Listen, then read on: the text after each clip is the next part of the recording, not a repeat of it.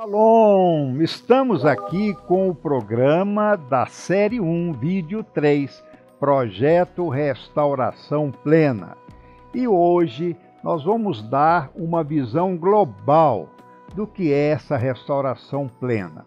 Eu já havia informado nos vídeos anteriores que essa restauração ela se inicia no indivíduo. O indivíduo após o momento que recebe Yeshua, Jesus, como seu Senhor e Salvador, eis o Cordeiro de Deus que tira o pecado do mundo. Então aquilo que tem que sair, tem que sair. Essa libertação tem que ser, tem que ser plena. Essa restauração não é só tirar pecado, não é só garantir a sua salvação e a vida eterna, não. Essa salvação é aqui e agora e você tem que estar preparado, capacitado para enfrentar os dias maus. Os dias são maus. O mundo está difícil. O mundo tem se afastado de Deus. A tendência da esquerda agora é ganhar espaço. O mundo tem se tornado do lado materialista, apregoando ideologias, o ateísmo, a negação de Deus, a negação da criação, nós estamos vivendo num mundo adverso. E o mundo vai se tornando caótico à medida que ele se afasta do Senhor e das, dos seus mandamentos, seus estatutos e suas ordenanças. Então, não quer dizer que Deus é ruim. Ele é justo, ele dá o livre-arbítrio. Por isso há o juízo. E o juízo virá. Com certeza o juízo virá. Esse juízo já veio na história, por exemplo, no dilúvio de Noé. Esse juízo já veio lá em Sodoma e Gomorra, quando o mundo daquela época superabundava no pecado, é? onde os princípios morais foram praticamente desconsiderados e não obedecidos. Havia as orgias sexuais, Havia uma depravação generalizada, o homem estava morto. É, veio o juízo. E lembram-se da época de Abraão, é? do seu sobrinho Ló, que vocês conhecem bem a história. Então hoje nós vamos mostrar aqui nesse slide como é a visão nossa da restauração plena. Essa restauração vai começar com a restauração do indivíduo a partir do momento que ele reconhece Yeshua e toma posse da obra da cruz, do madeiro. O que, que significa isso? É, não aquela ideia generalizada, ah, Jesus morreu na cruz para nos salvar, então estou salvo. Não, isso exige o seu livre-arbítrio, a sua escolha, isso exige que você realmente entregue a sua vida a Ele e comece a viver no padrão dele. Ele é o seu Deus. Então você tem que renunciar aos outros deuses, não só de ídolos, mas também aquilo que ocupa o lugar de Deus na sua vida pode funcionar como um ídolo, como as riquezas, os bens materiais, o apego ao dinheiro e tantas outras coisas mais que pode endurecer o seu coração. Então essa restauração do indivíduo não só é a convergência para a pessoa, o padrão de Yeshua, mas sobretudo a restauração da sua mente. Por isso Paulo fala, Paulo fala em Romanos 12, 2, renovemos as nossas mentes, os meus conceitos precisam agora estar alinhados, não é? Eles precisam eh, estarem alinhados aos propósitos divinos, não é verdade? Aos propósitos divinos. Então, isso é importante, essa restauração do indivíduo. O indivíduo que está na palavra, a se alimentando da palavra diariamente, o pão da vida, o pão nosso de cada dia, na pessoa do Machia, pelo Espírito Santo de Deus, não há espaço para ele ter uma vida de dúvidas, uma vida de, de desânimo, de depressão, uma vida onde ele não expressa a luz divina. Estamos aqui para ser luz nessas trevas, então temos que estar recebendo e restaurando a nossa alma, curando a nossa tristeza, depressão, insegurança, curando as nossas ansiedades, nosso estresse, dominando situações difíceis, vencendo o pecado a cada dia, porque na cruz a raiz do pecado foi tirada. Eu nasci de novo em espírito, mas a minha alma, a minha mente, a minha carne não nasce de novo, por isso eu preciso da Santa Torá. Eu estou debaixo da graça, Mas eu não posso ignorar a lei do Senhor, porque a lei do Senhor, a Torá do Senhor, é que restaura a minha alma. Está lá o salmista afirmando isso no Salmo 19, 7. Nós vemos que a palavra de Deus é que restaura. Restaura a mente, tira os pensamentos que estavam desalinhados com o propósito divino e nos alinha, nos alinha ali à vontade do Senhor, à palavra dele, dando essa separação, dando essa santidade, dando esse caráter de maturidade, de determinação e, por que não dizer, sendo edificado a cada dia na pessoa de Yeshua HaMashiach. Então, esse indivíduo restaurado, restaurando também o seu entendimento bíblico, sabendo que o importante não é eu esperar ir para o céu, mas é trazer o céu à terra, essa é uma visão que precisa ser mudada. Nós temos que viver bem aqui agora, porque lá nos céus não precisa da Santa Torá e nem precisa da graça. Hoje eu estou na graça, mas dependo da Torá para viver a cada dia e vencendo os obstáculos. Eu gosto de dizer que a Torá é que nem um espelho. Eu vou dar esse exemplo aqui mais vezes. A Torá é que nem um espelho. Se você estiver mal vestido, chegando frente a um espelho, você verá nesse espelho os defeitos da sua roupa. Aquela roupa que combina, aquela roupa que não combina, você vai ver ali. Talvez a roupa está amassada, está rasgada, falta um botão, o espelho te mostra, mas ela conserta a sua roupa? A resposta é não. Então, eu preciso da Torá. A Torá é como um espelho, ela me aponta as minhas falhas, os meus erros, mas eu preciso da Santa Torá. E na graça eu vou restaurar aqueles defeitos, vou ser libertos. E esse processo de libertação é constante. A cada dia nós temos algo para tirar da nossa vida. A cada dia nós temos que liberar perdão. A cada dia eu tenho que estar mais perto dessa presença divina, tirando muitas vezes uma irritação, uma mágoa, um ressentimento, uma tristeza que está transformando em numa futura depressão. Eu tenho que estar atento estar atento é viver plenamente a cada dia. Não é uma vez ao sábado ir à sinagoga ou domingo ir à sua igreja, mas o evangelho é para ser vivido diariamente. E isso precisa mudar a nossa concepção de igreja. Igreja somos nós, não um prédio. Então, esse indivíduo restaurado, ele vai realmente produzir uma família restaurada. E eu pergunto a você: o que, que adiantaria você ser restaurado e ser bem-sucedido, próspero, você está 100% comprometido com a salvação de sua alma e perder a sua família? Que, que sucesso profissional compensaria a perda de sua família? Isso não tem sentido, sabe por quê?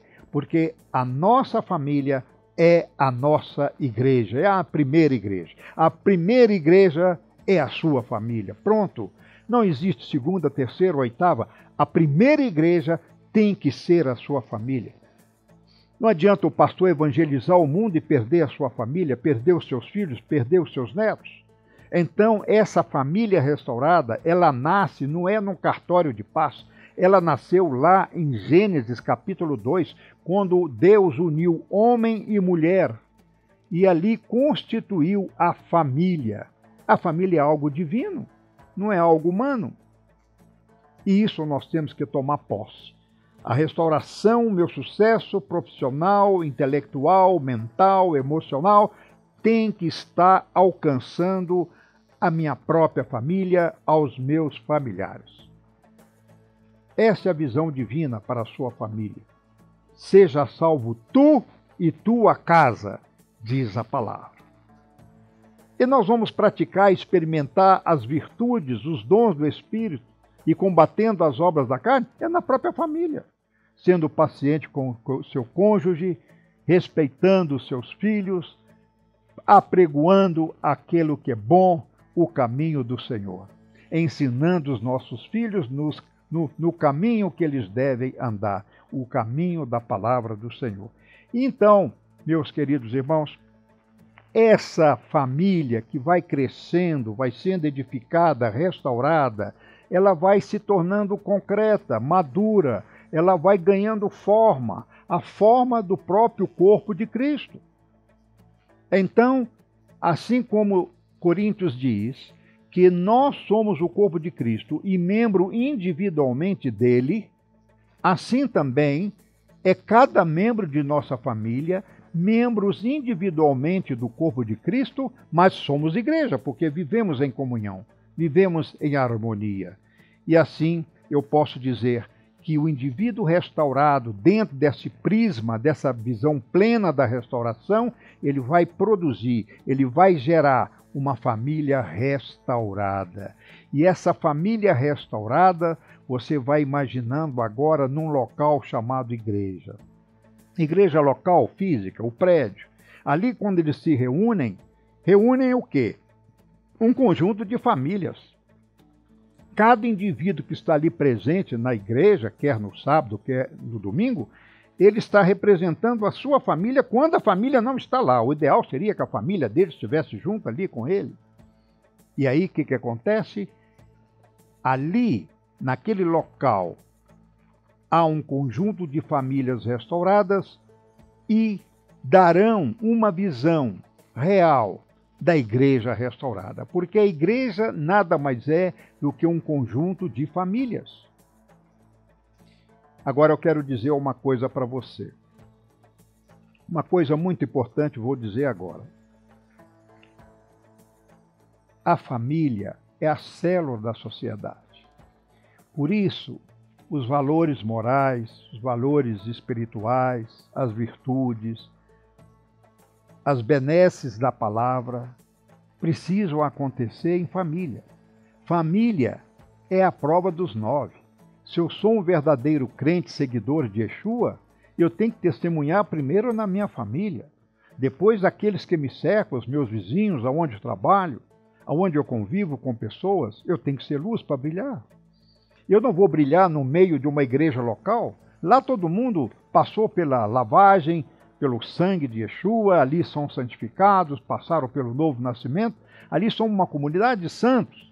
Ali eu não preciso ser luz, eu tenho que ser luz justamente aonde não há luz. Essa é uma missão, por isso Yeshua falou: Vós sois a luz do mundo. Esse é um desafio muito forte. Então não é fácil nesse mundo de hoje que se apregou o materialismo, não é? apregou ao afastamento, o nega, a, a, a, a, negação do próprio Deus, da criação, onde os valores vêm aí com ideologias de gênero, vem aí com princípios que as nações do mundo estão adotando, como, por exemplo, tirar a própria vida através de um aborto, sobre o pretexto que o corpo é da mulher, ela faz o que quiser. Não é bem assim. Claro que o corpo é dela, ela faz o que quiser com o corpo dela, mas ela vai prestar conta. A palavra do Senhor diz não à morte, não ao assassinato e sim à vida. O nosso Deus é um Deus da vida. Não é verdade? E quando Deus cria homem e mulher, diz a palavra, assim ele os fez. Seriam indivíduos que têm o livre-arbítrio, respondem por si só. Deus não tem netos, Deus só tem filhos. Agora, eles serão marido e mulher, formando uma só carne.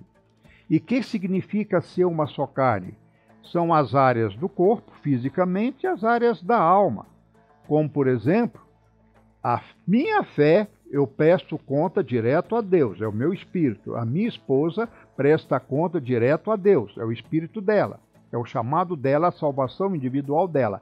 Mas nós temos que ser uma só carne é na áreas da alma, é aí que é a área do conflito, é aí que nasce a contenda, nasce, por exemplo, o ciúme, nasce, por exemplo, a inveja, nasce o desprezo, nasce, por exemplo, a maldade, a impiedade. São as obras da carne. Essas obras da carne são os desejos carnais. E aí, ali que vai estar o problema. O problema vai estar na conduta de ser uma só carne. Então, na verdade, é uma arte de permanecer casado. Outro dia encontrei com um ex-colega de serviço e ele encontrou comigo e falou assim: Marcelo, como vai? Tudo bem? Eu falei: Tudo bem, e você? Ele me disse: Eu já estou no sétimo casamento. E falei, meu Deus, sete vezes, sete mulheres, você já casou sete vezes. E aí ele me, ele me respondeu, e você? Falei, eu estou casado com a mesma. Ele disse, que falta de criatividade. E eu respondi, não, é o contrário. Você não teve criatividade trocando de mulher sete vezes. Agora eu, com meus 47 anos de casado, eu tenho que ter uma super criatividade. E eu vou lhe falar ainda: se eu não renovar os meus votos diariamente, eu não estaria mais casado. Porque é uma vida de renúncia, é uma vida que eu suporto o outro, que eu carrego o outro. Isso realmente é a restauração da família que vai gerar finalmente uma igreja restaurada. E aqui eu paro dizendo que a igreja restaurada, que está lá em Efésios 2,19, judeus e gentios em Cristo, formando o corpo de Cristo. Eu creio nessa igreja restaurada e eu vou encerrar dizendo que essa igreja, para mim, não precisa ser uma. Vamos largar as nossas denominações e virarmos uma só denominação? Não! Eu vejo hoje pessoas restauradas, famílias restauradas, membros do corpo de Cristo restaurado, na igreja católica, na igreja protestante, na igreja evangélica, na igreja pentecostal, no judaísmo messiânico e mesmo judeus santos, homens de Deus que creem no Mashiach. É como Deus te. Como não? Ele tem uma igreja que é universal. Apesar das nossas fraquezas carnais, das nossas denominações, ele nos vê como um. Então eu creio na igreja vitoriosa, essa igreja remanescente. E a gente pode ver que essas pessoas da restauração estão em todos os lugares. E nós estamos multiplicando a nossa unidade. A igreja não precisa estar junto, mas ela tem que ter unidade. É aí sim uma igreja restaurada, onde eu chego, na Alemanha, Estados Unidos, uma pessoa que está na restauração me recebe como irmão. Se ele estiver numa religião, ele não vai me receber como irmão. Mas se você tem um pensamento da unidade do corpo de Cristo, que, que Cristo só tem uma noiva, a igreja de judeus e gentios, você muda o seu prisma, muda a sua vida e passa a ser cada dia mais bem-sucedido e próspero, aguardando ansiosamente a iminente volta do Senhor. Shalom, shalom, até o próximo vídeo.